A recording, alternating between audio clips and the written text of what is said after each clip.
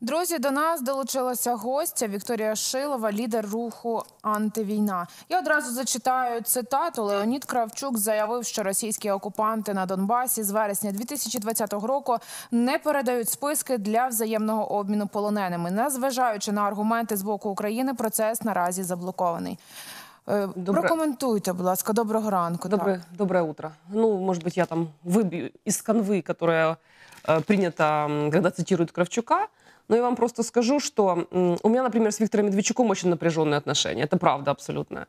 Но э, я с ним проработала два с половиной года. И когда мы с ним работали, то, в принципе, списки подавались. И я в Луганск, в Донецк ездила. И вот и сейчас на руки мне передали списки, кстати. Я вот могу их представить. Почему-то... Не все так заблоковано. Э, Нет, ну, конечно, нет. Послушайте, там специально люди, которые, вот там, например, Казанский, да, Гармаш. Ну, кто эти люди? Это люди, которые э, сейчас к Донецку и Луганску имеют такое отношение, как я к израильскому Кнесседу или к племени Зулу. Примерно такое. А потому что они давным-давно оттуда уехали. Они писали посты, которые пропитаны ненавистью к жителям Донбасса. Абсолютной ненавистью. А ведь это же жители Украины они просто их ненавидят. И вот если возьмите в их ленту, например, Фейсбука, и почитайте, то каким образом они могут представлять интересы жителей Донбасса? Да никаким, потому что они их ненавидят. Вот они считают, что там только там, террористы, сепаратисты, э, оккупанты с одного годика родившегося да, до 104 лет, там какая-то бабушка 104 или 106 лет живет э, под Донецком Горловке. То есть так нельзя. Понятное дело, что эти люди делают все для того, чтобы процесс на самом деле не шел. Пока процесс не идет, они там что-то кукарекают с телеэкранов и рассказывают, как все плохо. Теперь возвращаемся, когда я работала с Медведчуком. Вибачте, а чому вони не зацікавлені в обміні? А зачем? Ведь пока идет война, великолепно э, используют Украину тараном в геополитических э, раскладах против России. Но неужели это непонятно? Им это очень хорошо. Для, и знаете, знаете а, там солдат спит, служба идет. Вот чем больше, чем дольше для них идет эта война, тем они будут великолепнее себя чувствовать, рассказывать по всем европейским площадкам, западным площадкам. Но сейчас кое-что меняется, если вы заметили, да, там не Путин Байдену звонил, а Байден Путину. Ну, то Так, есть как бы есть есть интересный момент, это связано только с э, русским оружием, конечно же. Потому что у русских сейчас лучшее в мире оружие. Как у китайцев лучшая в мире экономика, так и у русских лучших в мире оружие. Поэтому сейчас немножко геополитические расклады другие. Так вот, когда я работала с Медведчуком, еще раз говорю, у нас с ним очень-очень напряженные отношения, но а, было все по-другому. Вот, например, у меня в руках, каки- как это не, не даются списки? Вот я была в Луганске, в Донецке, почему-то мне давали списки, хотя я представитель народной дипломатии. А хто надав списки? Та сторона давала, мамы э, той стороны давали, мамы нашей стороны давали. Надежда Савченко мне списки давала. Эм, Мы ездили в Луганск и в Донецк по обмену пленами, поиску пропавших без вести. Мы встречались в 2015 году с Захарченко, встречались. Мамы добили встречи с Захарченко. Я была как бы гарантом при пересечении границы. Ну, вы сами понимаете, 12 мам едет, да? Э, То есть кто-то должен гарантировать их возвращение. Так. А так как движение антивойна с самого начала конфликта помогает мирным жителям, эм, женщинам, старикам, деткам, вот мы 7 лет помогаем, то ко мне хорошее там отношение именно у простых людей.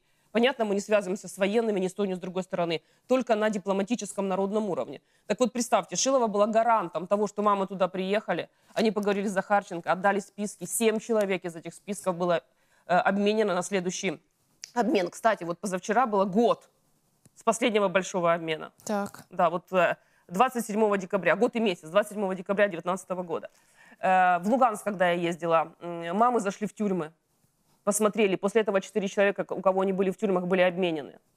Тоже привозила я в Луганск. Это уже был 17 год. То есть Шилова, у которой нет никаких полномочий, абсолютно ничего, только хорошее отношение к жителям Донбасса и с жителями Донбасса, а также с материнскими организациями с той и с другой стороны, почему-то может ехать.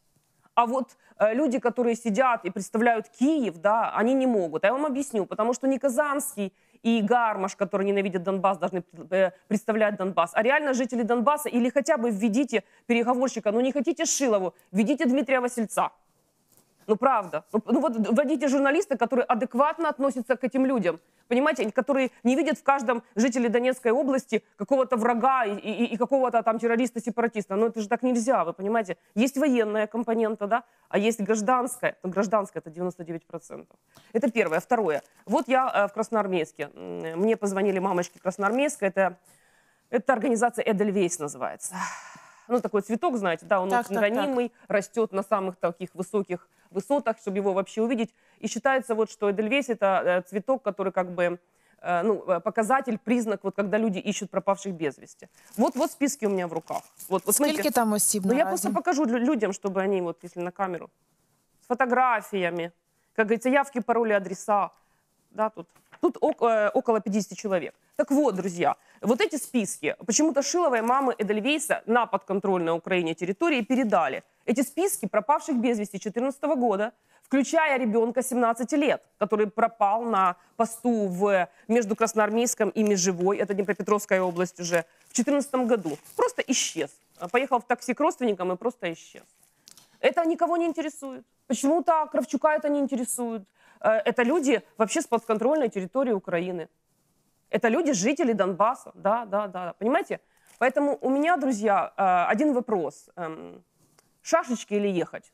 Вот если ехать, то тогда не нужно э, делать вот этих заявлений, там, апеллировать куда-то. Вы вообще чего все время к Москве апеллируете? Вам э, Донецк и Луганск, это же Украина, правильно? Так вот давайте, может, внутри как-то мы решим вопрос. То, что вы там будете рассказывать про...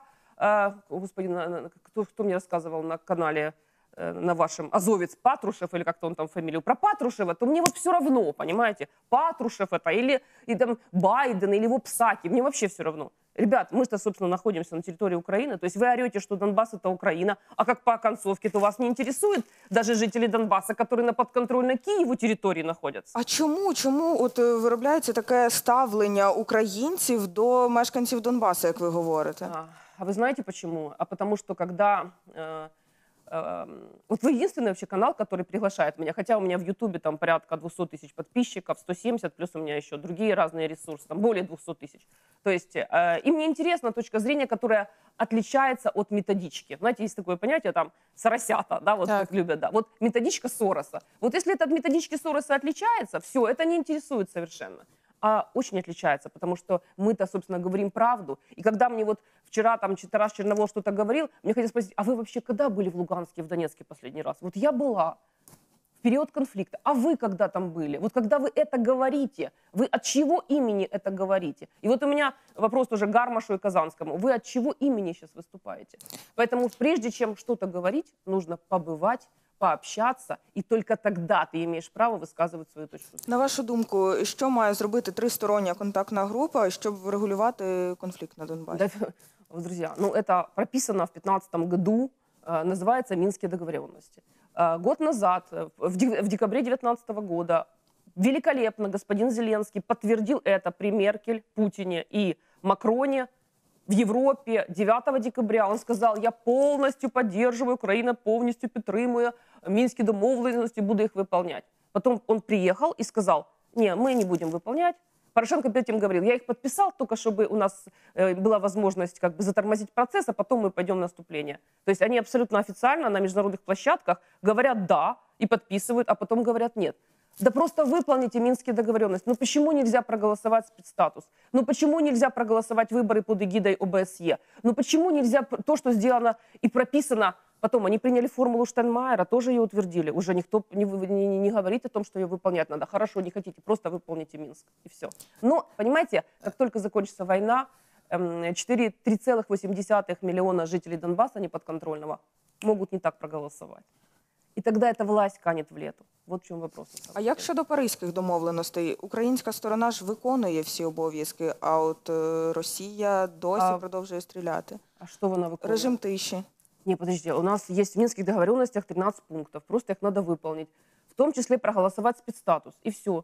И, и- и закончится все. Только спецстатус голосует не, не ДНР, ЛНР самопровозглашенные. Спецстатус голосует Киев. Це може призвести до, до утворення сірої зони. Наскільки це потрібно взагалі Не людям, сірої- які живуть там? Да, не, не буду никакой серой зоны. Вы знаете зеркало недели?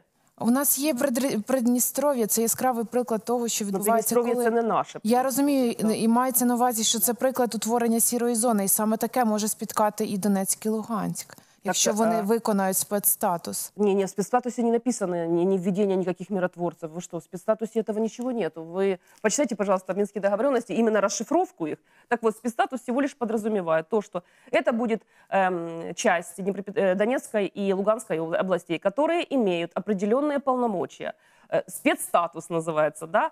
То есть, причем, кстати, Дне- эм, о, Верховная Рада все время продляет этот якобы спецстатус каж- каждый год, чтобы вы знали на самом деле, только его не выполняет. Потому что не проголосованы политические моменты, то есть политическая составляющая Минска. Добре, якщо його проголосують, що буде на Донецьку і Дон- е, в Донецьку і в Будет, э, Луганську? будет Украина, исходя из минских договоренностей, будет Украина, но они будут иметь определенные повноважения, да?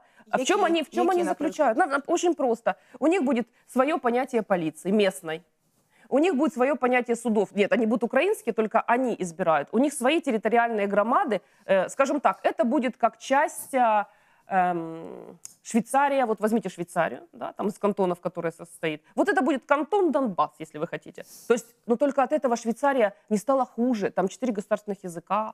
А, Она самая богатая страна Европы, самая богатая по эм, рейтингу человеческого благополучия. Это, это главный рейтинг в ООН, чтобы вы понимали.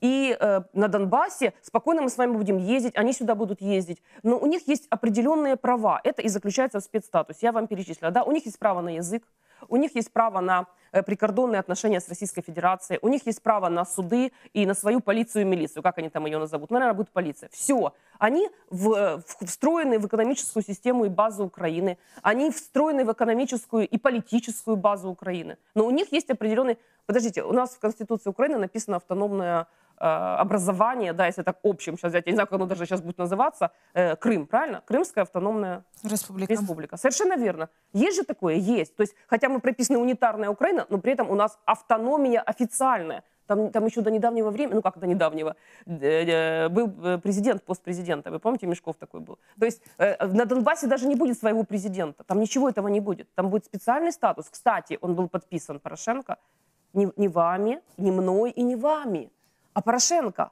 который потом начал больше всего по этому поводу кукарекать. А Зеленский всего лишь подтвердил эти минские договоренности. Он не сказал, мы выбрасываем спецстатус, мы выбрасываем выборы, мы все выбрасываем. Он этого не сказал, но это подтвердил.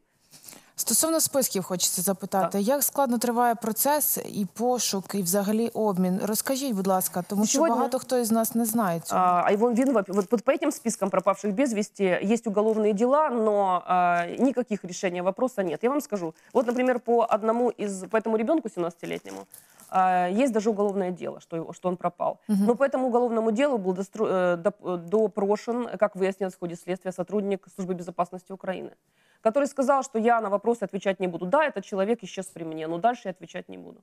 А чому так відбувається? Служба безпеки Украины это СБУ. То есть э, этот мальчик э, был эм, захвачен нельзя так сказать, взят в плен тоже нельзя так сказать. Ну, скажем так, э, был взят под стражу СБУ.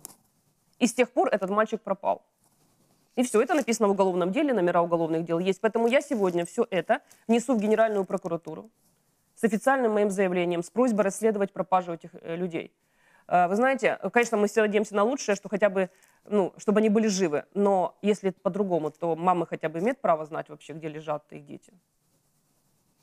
Неужели, неужели люди никому не нужны и никому не интересны? Вопрос у меня к господину Кравчуку, президенту, ну, экс-президент, нельзя первый президент, Так. да? Э, господину Гармашу, господину Казанскому. А вот это вас не интересует? А люди, которые мы с Надеждой Савченко, когда работали, эм, она попросила у меня мои списки, э, там сотни людей, пропавших без вести было. Это было еще, когда она только вышла. А списки были составлены на начало 2016 года. Я ей все передала эти списки. Я вам скажу огромное спасибо, она нам помогала организовывать коридо- коридоры материнской помощи. Вдумайтесь, в коридорах материнской помощи мамы Украины передавали э, ВСУ, передавали на Макеевскую колонию э, продукты, теплые вещи. И там наши волонтеры движения антивойна договорились, чтобы ВСУ получила это.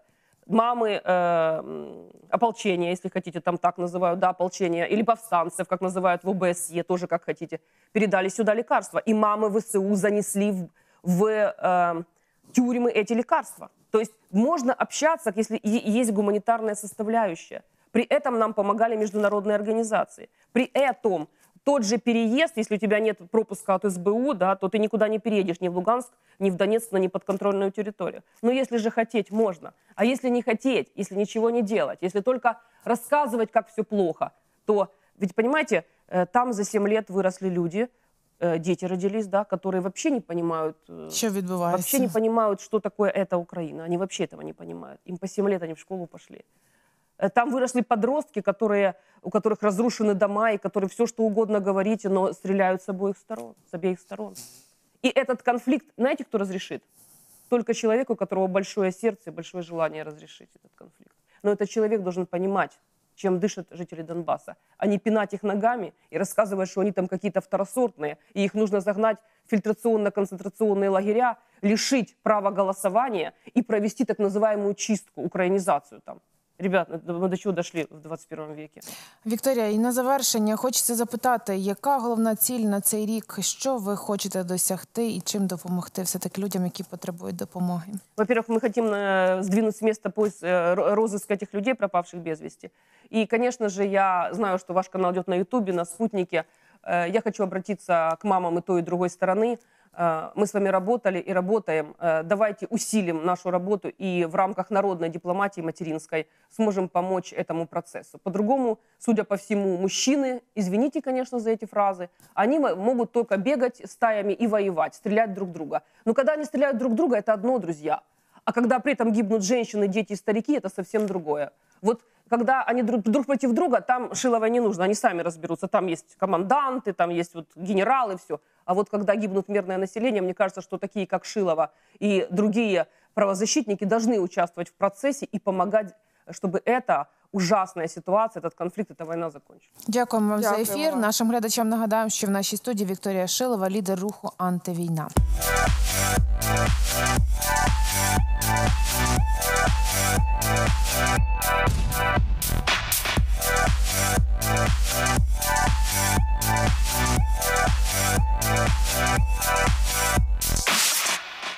Друзі, дякую за вашу увагу. Не забувайте підписуватися на наш Ютуб канал, адже там щодня з'являється величезна кількість корисної та цікавої для кожного з вас інформації. А якщо натиснете дзвіночок, він вам буде сповіщати, що вже є свіженька інформація, яку варто переглянути.